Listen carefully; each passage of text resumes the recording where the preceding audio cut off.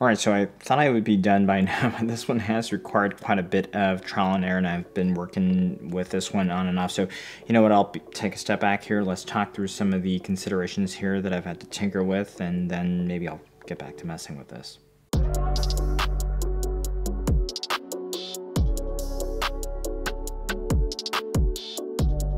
Welcome to Machines More. So I've started the custom build here in the T1 V2. If you're interested in doing such a build, there's a lot to think about. So I'll break this up into a few segments and I'll give you my recommendations based on what I've seen and learned thus far. So decision number one is gonna be your pump. Sub 10 liters, usually you're gonna have to go with an external unit or a CPU pump block combo. And uh, in the T1, unless you're using a really, really short GPU block and you can overlap your pump res with that block, there's not a reasonable location to mount a standalone pump res. So those two options are going to be your only options here. There's a provision for an external pump at the back. You can use a bulkhead fitting at the back of the case with an Iceman DDC or something like that. For this build, a company called ModUltra sent over a pump block for us to check out here. Big thanks to them.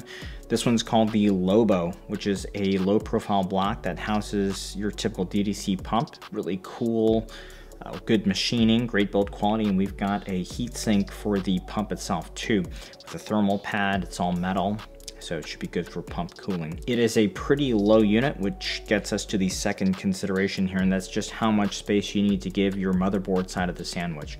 Initially, I started out the build with the absolute minimum, and it seemed like it would work until I actually popped in the 90 degree rotary fittings that I'm using here. Uh, these are the Glacier fittings that uh, Phanteks sent by, big thanks to them and uh, these are really high quality. And uh, it seemed like it just pushed out on the side panel when I tried it, so I did have to give it another 5 millimeters. So what you're seeing here is the divider shifted in 5 millimeters from the absolute minimum. One additional thing I did here was shift the motherboard standoffs out again by roughly 3 millimeters. This pump block has a really thick backplate, and with the riser cable and power cable passing through around the back, it was just a better idea to relax that fit a little bit. With all the space on the GPU side, I thought I could shift the riser cable and put the GPU at the outside most position. And that way I could run the fittings on the inside in the middle of the case. Uh, but that didn't end up working after I shifted the motherboard divider back inwards. So I did all that and uh, moved the riser cable back to the innermost position. And that gives a comfortable amount of room for your typical block, which has the fittings at the top of the block. I think for most users, that innermost position is gonna be the safest bet. And I, yeah, I know there's the possibility to run a second rad on the outside uh, of this panel. That's really gonna depend on the thickness of your GPU block. And this Alphacool one I have here is just too much anyway. I am a little wary if this can work with reasonable fan speeds uh, with just one radiator here because uh, I've got a 6800 XT and a 12700K so well, I'm hopeful, I'm hopeful here and we'll see if that works. So for the rad you're going to have to decide to hear how you split the difference. There's about 47 millimeters to the bottom of this motherboard here and a little bit more on the power supply side but it's still really really tight. So you could do a 27 millimeter rad plus slim fans, which gets that to roughly around 45 millimeters, or something like this TX240, 21 millimeters thick, plus 25 millimeter fans gets it to just the edge. And you can't really do any more than this on the motherboard side. Now, in my testing, 25 millimeter fans plus a thin rad beats thicker rad and slim fans this particular rad punches above its weight because it's a really thickness optimized radiator. And if you look at the core of thicker rads, there's often a lot of wasted space hiding in there. So I was wondering if I should cram a T30 on the power supply side. If you have custom cables, it might work. I'm just using the stock cables with this power supply here and the difference at the end of the day isn't worth losing hair over. So I'm just sticking with the good old NFA 12 by 25s. So once you've got that rad plus fan decision sorted out, the next radiator decision you will have to contemplate is whether or not you do the rad on the inside or the outside of the fans. And you can do either. The issue in sub 10 liters is mainly the tubing run.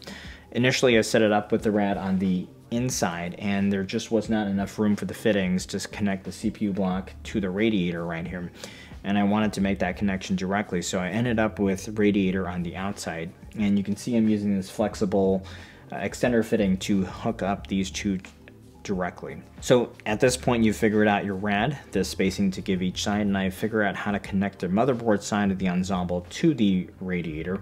So the next step in the tubing equation is where to pass the run back to the motherboards from the motherboard side to the GPU side. And one thing I wanted to try was to pass the tubing through this uh, between the motherboard and the power supply. But the way the power cable runs, that just isn't going to happen.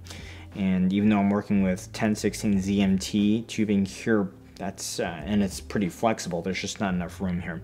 So at least with my materials for this test build the best way is to go through closer to the rad here. Uh, for that you will have to work up a few bends or fitting ensembles. I'm going to do a few 90s and T through the middle uh, but it's very feasible here. Okay so last consideration here was filling bleeding draining you know maintaining the loop Eventually, this is going to flip the other way around, right? Because the rattle is going to be on top for the airflow. But it doesn't matter when you're filling the loop or during maintenance. You can turn it any side you like. One of the big problems with using a CPU pump block combo uh, is filling it. And one, it's not in an optimal location to fill without a longer fill tube, but then bleeding out the air is really a headache too.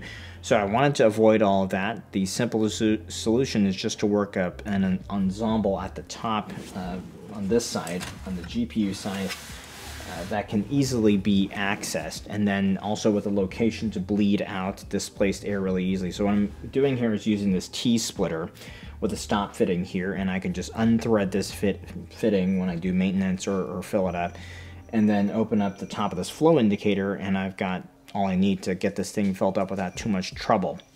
It does require a few more fittings, but I think this is really going to be worth it long term. Now with a single rad, I mentioned I'm a little wary how well it'll work, uh, so I'm going to do this one up with soft tubing first, and if it works out well, then I'm going to do clear hard 12 millimeter hard line for this one. Anyhow, I hope that was a good intro into the liquid cooling content here for the T1. So far, it's been an exercise in patience and a lot of trial and error, but as far as the case goes, since you can basically build in it, around it and you know take out pieces like uh, this one uh, you know these ribs here to make things fit and to screw in the fittings is actually not too terrible. So expect an update soon as I wrap this one up. Please give a like subscribe if you haven't already. Thanks for checking it out with me